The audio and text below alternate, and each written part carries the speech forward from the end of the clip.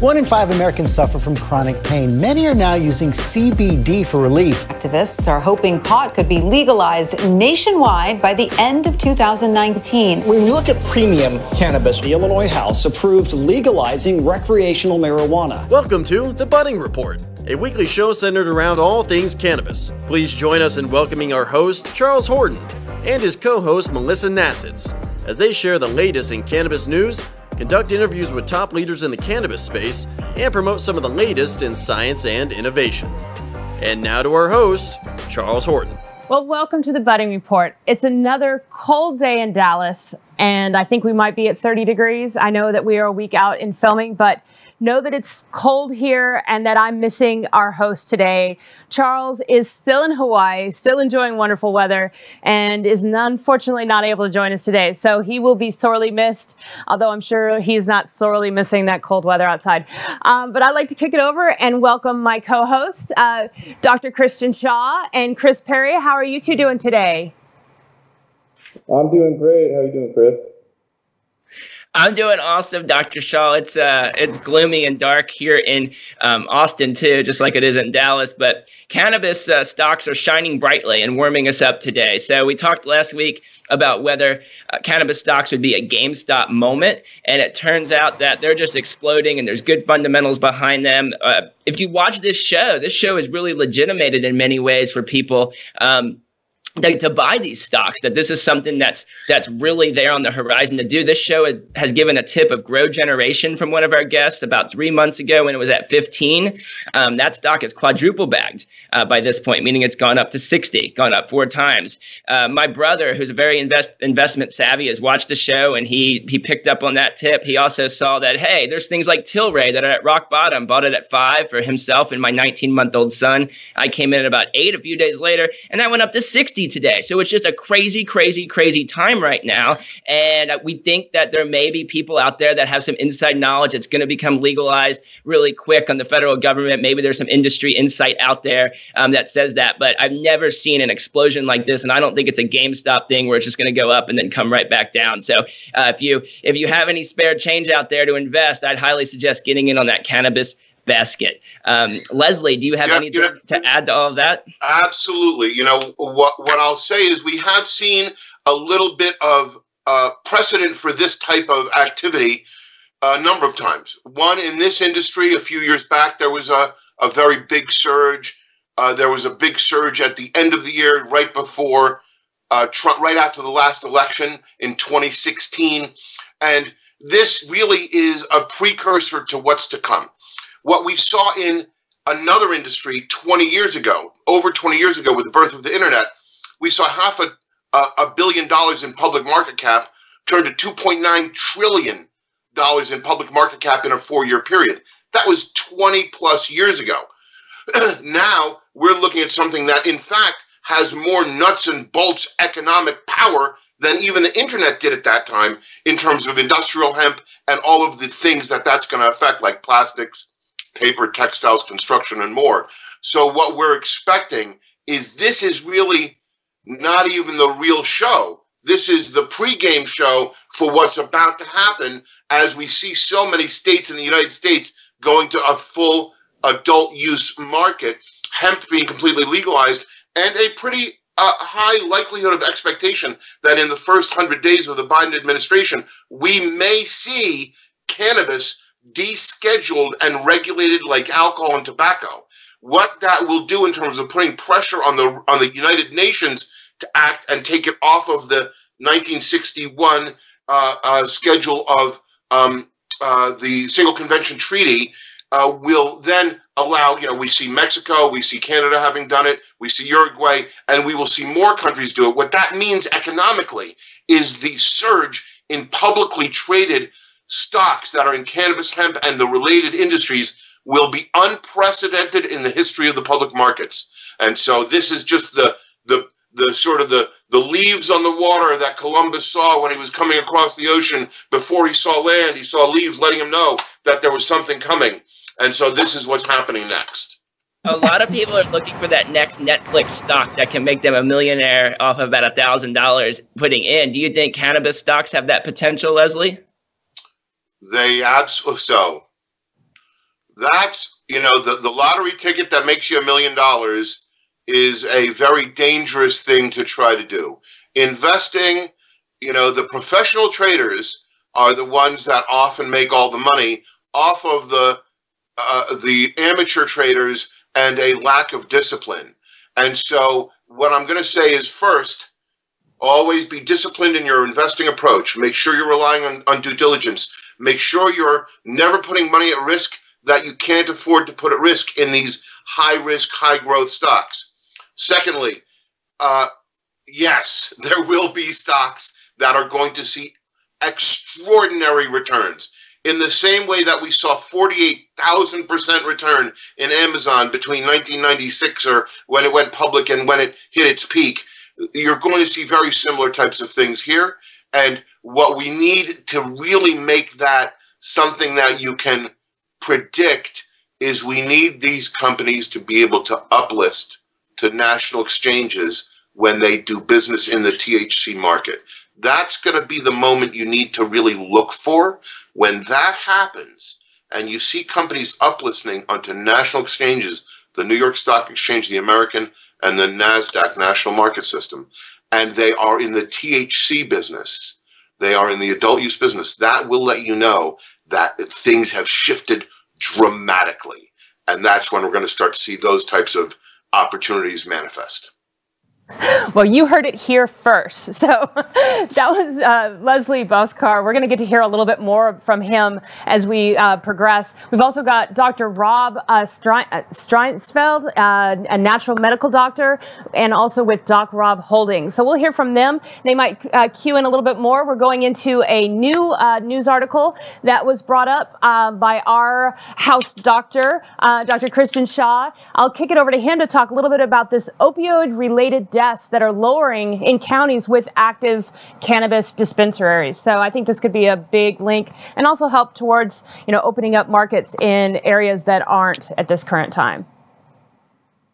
Well, thanks, Melissa. So, as you stated, the title of this uh, article from the Clinical Psychiatric News is opioid-related deaths lower in, in counties with uh, cannabis, active cannabis dispensaries. So areas with cannabis dispensaries have seen a decrease in opioid-related uh, mortality, this new research suggests. Uh, this study was recently published in the British Medical Journal, uh, where researchers evaluated the prevalence of medical and recreational cannabis dispensaries in 812 U.S. counties within 23 states, uh, with some degree of cannabis legalization between 2014 and 2018. According to Dr. Sue, the co-author of the article, said, our findings suggest uh, higher storefront cannabis dispensary counts are associated with reduced opiate-related mortality rates at the county level. So for many of us, this is intuitive. We know that cannabis has uh, ever increasing application of various medical and psychiatric conditions. Uh, and so I don't think anyone on this show is surprised, but the benefit of articles being published in you know very established prestigious medical journals is that this further helps legitimize cannabinoid medicine and pushes it into the forefront. Back to you. well, thank you. And of course, you know, anytime we can help with this opioid crisis that is going on in the United States, is more to the better. So, uh, as you know, all of us here are very uh, pro legalization. So, we'll be hopeful to watch and see as it opens up and what we find out. We're going to go ahead and take a quick commercial break, and then we'll be right back and get to hear a little bit more from Leslie Bocskor. Coming to you after our hike that we finished. Buster exercises three miles. Today is a recovery day because he did eight mile hike over the weekend broken up into two. But what I want to share with you is this company here called Simple Changes. I learned about them and I absolutely love the concept. It's wellness, community, and organization. So as you can see here, I love the wrapping. I love purple and it comes with three products. So I've been trying them out. First, it's the hemp oil spray. Then it's the hemp oil dropper and the hemp oil. So I'll be trying all of these out. I've been exploring them, exploring ingredients. I met with the team on Zoom. Um, really, really, really neat product. And I love the fact that they also want to incorporate healthy practices. So they come with a little journal and something about simple success guide. So simple changes. Well, now I get to officially welcome Leslie. Leslie is with Ele- Electrum Partners. He is the executive chairman, and most folks in the cannabis industry for any length of time are familiar with him by face name, his exuberant laugh, and immaculate three piece suits. We're very excited to have him back on the show. Um, uh, he mentors up and coming executive and businessmen, and his far reaching banking and entrepreneurial experience is definitely something that we can turn to. We heard a little bit about him, about the, the stocks that are coming up, um, but let's ask him why are you in a public uh, company now? Now is the key component of that. The, the real, you know, I have been speaking publicly about the pub about the liquidity needed for this industry, the challenges associated with capital formation, the that are unique to this industry due to the legacy that comes from prohibition. And as we transition from this being a, a prohibited industry to a regulated industry, the banking and financial markets are very slow to follow. So the short answer is I have been preparing for the public markets and to be involved in the public markets since I, before I actually formally got involved. It has been my focus of my career uh, since 1987. I've been focused on the public markets, and anything I do, I tend to look at it from the perspective of where will the real liquidity opportunities be? Where will the capital formation be? Where will I have the opportunity to have the greatest effect in what I do? And so I've always looked at the public markets as a pivot point, as a leverage point that could allow me to achieve certain results. I came into this uh, anticipating that there would be a time when getting access to the public markets for liquidity, for the ability to bring capital to bear, and for the ability to use publicly traded currency as uh, a way to acquire assets was going to matter in general. And so I have advised people on this, I've been involved in it, and I've always wanted to make sure that my own path in the industry was going to be charted by the same advice I gave others. And so, with the impending changes that are coming as a result of the Biden administration and many other things that have led to where we are, the timing was just right uh, about a year ago to start preparing, and I'm, I'm continuing to follow up on that now. Well, and you mentioned when we when we opened uh, about the first hundred days and possibly seeing you know decriminalization happening then. If you were hard pressed to put about when do you imagine things would absolutely change? Could you could you pinpoint a time more specifically, or do you think it's going to happen in those first hundred days?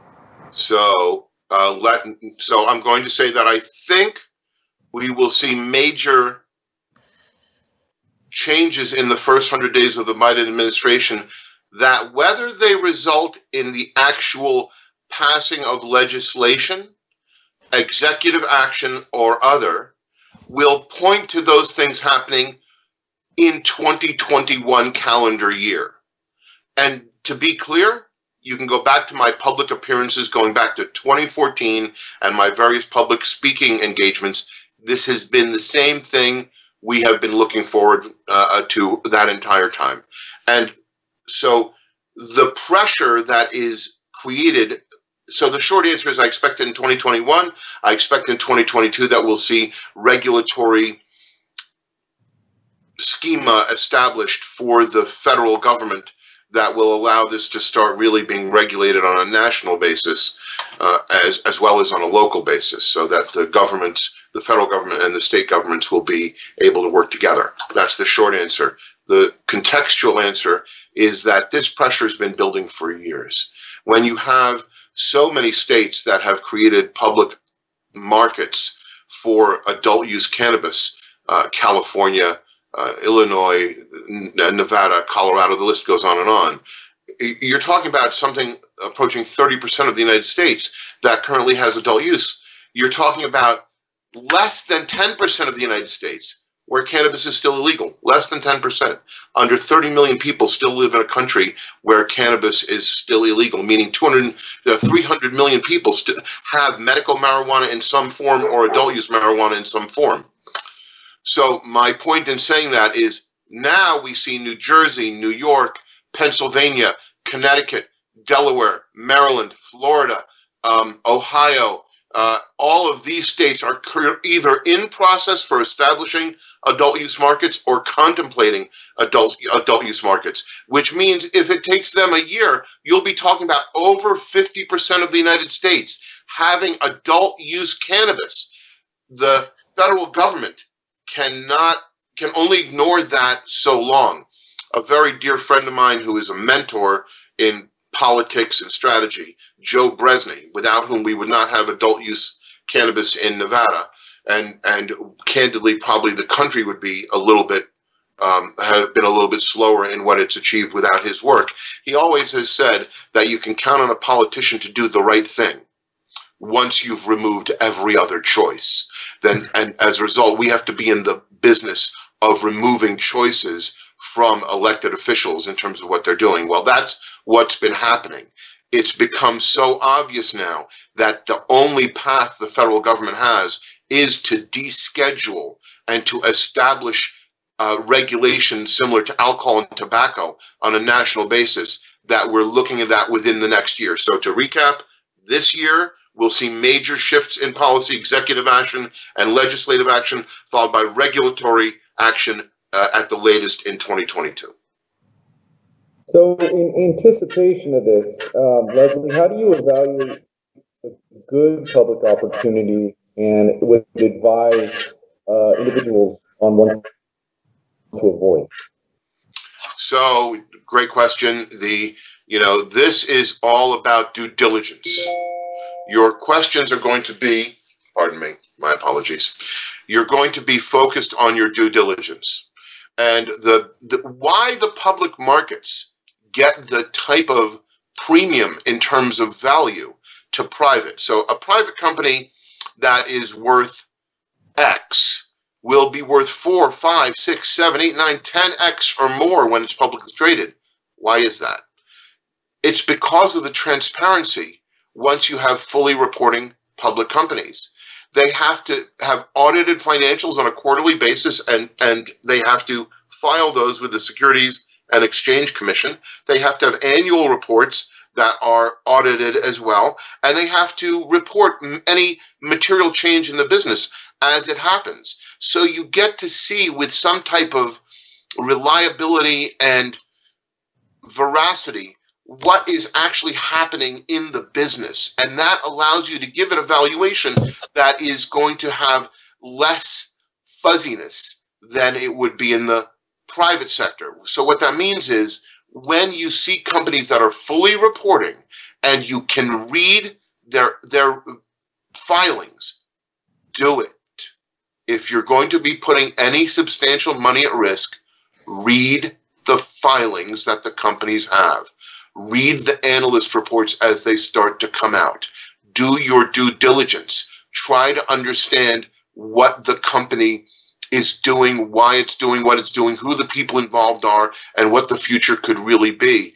Then you can make a much more informed decision before you put your money at risk. And so, once again, you've got to look at all of the things that are out there, all of the businesses that are out there, read the filings, understand who's involved, get deep inside your due diligence if you're putting any real money at risk, and then and then make a decision after you've been able to do that. Also, look at what other investors are doing, what other people who are familiar with the markets are saying. Find ways to get access to their their newsletters. Uh, Alan Brochstein has been uh, very effective in disseminating information. Javier um, uh, Hasse, the uh, author, the journalist, has been incredible in putting a lot of information out there. Look for these reliable sources of information and listen to what they have to say. Don't follow exactly what they tell you to do. Uh, take it under advisement and then make your own decisions based upon that until such time as you can buy funds and other professional investors. Uh, you get access to professional investors and their ability to make decisions for you in the public markets. Leslie, uh, last week's GameStop um, incident really illustrated, I think, some of the challenges in public markets, especially the tensions between retail investors and these hedge fund uh, investors. You have a lot more experience in, the, in, this than me. Can you tell us about some of these, what you think are the biggest challenges in the public market? And most importantly, how do we overcome them?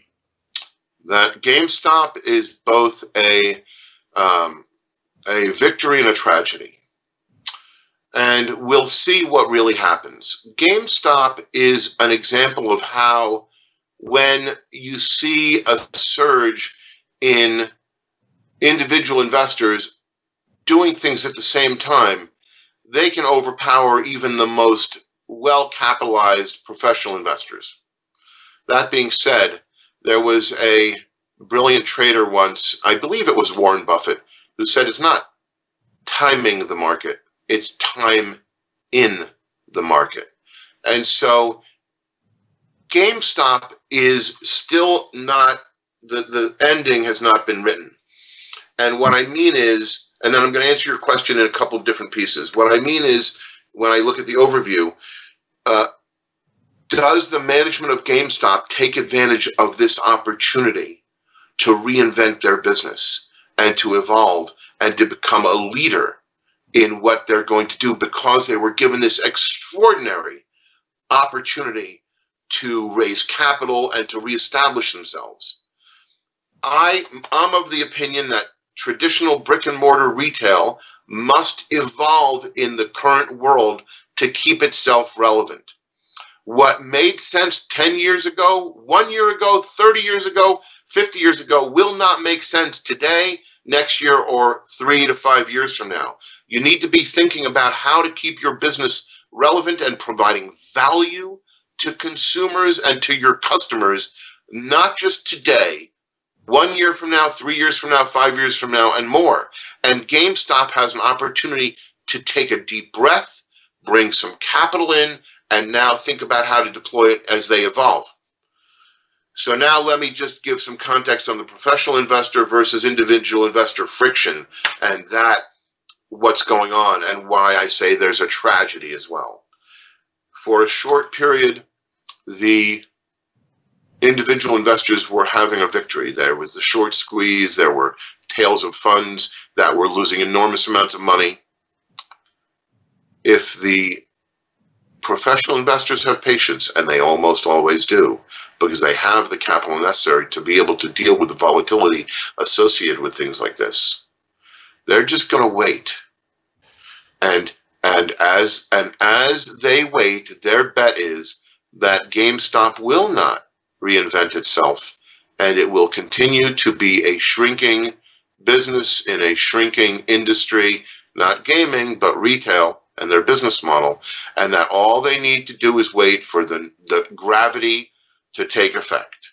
It can only stay afloat for uh, a, a, certain amount of time, like the coyote in the Bugs Bunny and the Roadrunner cartoons, who goes out off the cliff. The cliff falls, and there he is, pumping his arms and his legs in the air in that circle while he's still uh, floating in the air. But you know, any moment now, he's going to come crashing to earth. And that's the tragedy of GameStop. If the company is ineffective in, in reinventing itself, it will start to once again follow the laws of the markets and the rules of the markets, and it will start to likely come down substantially. And then the patience and the time in the market of the professional, inv- professional investor versus the trading opportunity of the individual investor will turn into a game of musical chairs.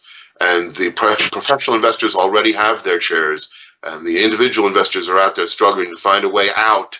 And do they get to get out and get their chair and, and, and come out with a profit or at least not take a loss? Um, I am concerned that they will not be able to um, see that happen. Definitely say it's been very interesting to watch. Um, and even people that I know that have never been involved in the stock market are looking and with interest at this story because it is sort of a Cinderella story. And hopefully GameStop will make this work. But the problem with most Cinderella stories is they're fairy tales, right?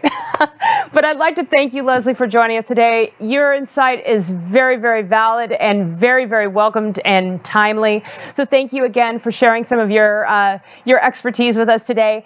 Uh, any of our viewers can reach out to Leslie um, all of his contact information is available on our website at thebuddingreport.com, as well as with any of our other guests. So please take the time to reach out to him. Uh, he would welcome hearing from you. So we're going to go off for a brief, brief commercial break. We'll be right back with our next guest after this message. Hello, hello. Here in my lunch run in the middle of the heat where I get my break really quick after training clients and training leading some classes. I am taking my Simply Satisfy. It is three sprays, organic hemp. Uh, next one is my Simply Start. You can take it twice a day or once a day. I already took my morning dose. I'm now taking my afternoon dose. One little yummy organic hemp. Try to check them out. Simply Generous helicopter. All right, time to go train and run down the hill. Bye bye. Well, welcome back. We're with Dr. Rob, Doc Rob Streisfeld. He is a doctor of naturopathic medicine. And Christian, you're still my favorite doctor, but I'm a big fan of NDs as well. He's a certified natural food chef and passionate consumer advocate and educator, especially when it comes to all things cannabis. With over 18 years in natural and uh, health and natural products in the industry. So we're very excited to have somebody with your expertise here. So how did you originally get into natural naturopathic medicine. Well, great. Thanks for having me here, and it's wonderful to join the show. I love Leslie's talk, and I've, I've got some consulting with Leslie and his team. awesome. They're awesome in the past. If you're in cannabis, again, Electrum and Leslie are definitely the go-to. Um, but for me, like most people getting into healing, I had my own personal health crises. I had my own issues growing up. I had digestive issues.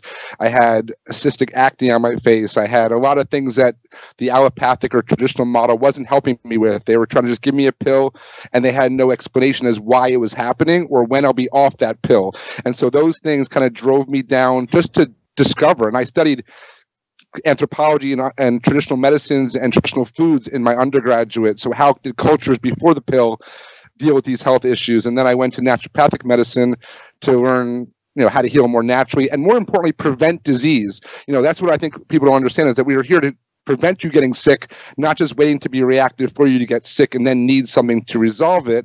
And then with that, culinary school, although a lot of people made fun of me back then, going to a plant based, vegan, vegetarian focused culinary school many years ago was simply because everyone I ever met ate. And they didn't necessarily have cancer or pain or sleep issues, but everyone ate food. So I like to, you know, start at that foundational point and use that as part of my practice and my career going forward that. I love dealing with food as medicine. I think so much of what we can do, we can do through our diet. Um, and people try and fix diet with exercise. It's such a small portion. It's 90% of what you do beyond that makes a difference. So, and you know, treating the the issue at hand, not the symptoms. All of these things just go hand in hand and lead me right into my next question. Um, obviously, uh, naturopathic, plant medicine. So, where did that transition into cannabis for you? Well, I have to say that I grew up in New York, which I'm excited to see what happens in the Northeast these next couple of years with cannabis as a whole. I actually have a hemp license and engaging in a project this summer up there. But I grew up about 10 minutes from where Woodstock occurred in 69. My dad rode his motorcycle into, into Woodstock and had a wonderful party in 69. So celebrating anniversaries, cannabis was never so foreign. It was not so it was another thing we grew and we you know utilized on a more regular basis but going forward studying plant medicines having to deal with pain of my own and learning that not only cannabis but so many plants have this power to heal uh, and resolve pain and to reduce inflammation that when being out in arizona the west coast I, I, automatically saw the opportunities in cannabis uh, and I jumped on. I'm a medical director of dispensaries in Arizona. I work to educate as many people as possible from the retail side to the consumer and patient side. And then I also, you know, see where this fits into the natural products industry. And I have to say, I was one of the first to recognize a CBD product from hemp being introduced into the natural products, natural health retail stores, health food store industry many years ago, probably in early 2014, 2013. Um, that was MJNA.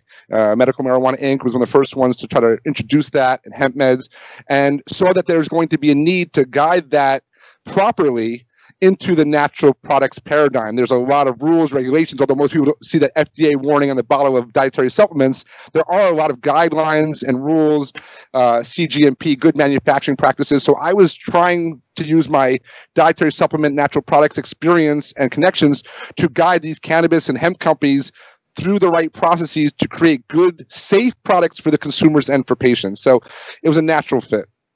So that's a perfect transition to my question. Uh, what are some of the challenges with CBD and the related uh, CPG products? you know, there's a lot of challenges. Uh, I've watched this industry grow and ex- and shift over the last six, seven years, give or take. And the first thing is that there's a lot of people that get into the space for the quick buck and they're just white labeling they're you know they're private labeling they're throwing things in a bottle selling it on amazon or online at a website they don't know what's in their product they don't know how it's going to affect the user they haven't done the full due diligence and again what leslie said earlier when it comes to investing in, in stocks and businesses do your due diligence do your research so for me it's the same thing when it comes to supplements or creams or topicals or anything you put in and on your body. You got to do your research. So there's so many. There's over 6,500 CBD brands right now, uh, all trying to get you, the audiences, you know, to you know, loyalty and to purchase it. So now you have to talk about where are you buying it? Health food stores, cannabis dispensaries, online. Now I'm, I'm looking at the, the growing trend of CBD only retail stores, CBD stores dedicated to those type of retail products, and I like them actually. I'm actually fond of that because the research I've been doing is they're having tremendous vetting processes. Uh, one that I like is CBD Emporium out of Arizona. They're growing, and the fact is they have a vetting process. So they're carrying many brands, many products, but they're doing that hard work for the consumer before the consumer comes in the door. They're kind of filtering out some of these bad actors, these unqualified uh, or un quantified products. These are things that are really important for patient safety, consumer safety, and legitimacy of our industry going forward. So, speaking of going forward, Rob, um, what areas are, is your company most interested in moving forward in cannabis? It's a great question, and um, you know, there's so much talk about CBD, and I love that we had a big portion of the conversation about the THC aspects of the industry as well. But those are only two of over 500 compounds in the plant. So I definitely see the trends. Obviously, we're talking about minor cannabinoids, CBN, THCV, CBG. These are all starting to pop up in more mainstream conversations. Personally, I think the terpenes have been given some exposure, but not fully understood, especially with the correlation to essential oils and other plant medicines. Um, we see a lot of interest in, um, for me personally, the whole plant. I see that there's attributes to this plant from the root to the to the bud, which now in some nomenclature are referring to as as the fruit because it has seeds.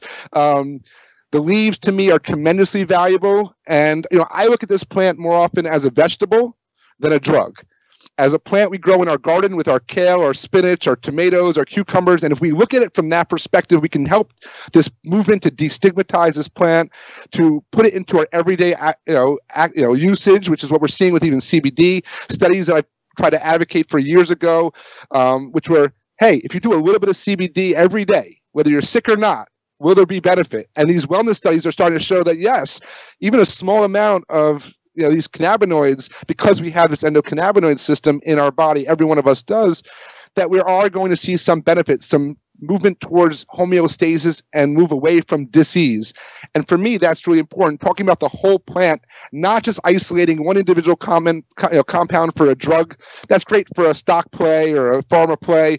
But when you're talking about healing people this whole plant is really where we're at. And the research that i'm looking at is a lot of that of the different components of the plant and their other attributes beyond the medical or drug component. So when we talk about the Northeast going adult use, we talk about the East Coast going adult use, um, and all these more states. It's really important that a I, I still believe we should have grow your own rights, but let's talk about that from a realistic standpoint. Six or eight plants a person isn't going to make someone a millionaire. You know, so the idea is if you can grow your own tomatoes in your backyard, wonderful. If you grow so many tomatoes that you're going to bottle them, can them, and sell them in the health food store, that requires a license, a permit, registration, certain standards.